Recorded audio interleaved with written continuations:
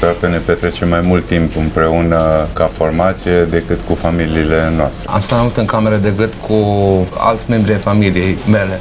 Anii ăștia mulți pe care i-am petrecut împreună, de fapt a legat o prietenie serioasă. A, se creează o legătură de prietenie, îți dai seama O că altfel nu chimie. se, nu se poate duce la, la bun sfârșit o chestie de genul ăsta.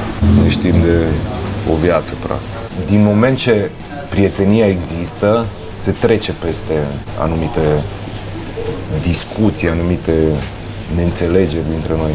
Ținând unii la alții, trecem de toate hopurile. Cred că asta te ține în viață, te ține pe scenă. Faptul că ai atâția prieteni cu care poți să comunici. Fără prieteni ești o formație moartă.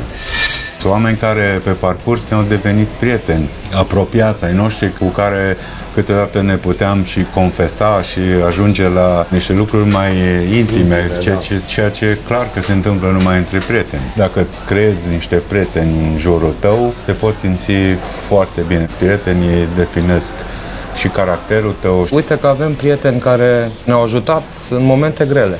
Uite, eu am, de exemplu, un prieten foarte bun. Într-unul dintre momentele critice ale vieții mele, m-a luat de o aripă, cum se spune, și m-a dus în Ungaria de câte ori a trebuit ca să-mi îndrept piciorul. Întâmplarea asta a făcut să ne legăm pe viață. Putem fi diferiți, putem să avem uh, moduri diferite de viață, dar uh, să fim prieteni uniți maxim.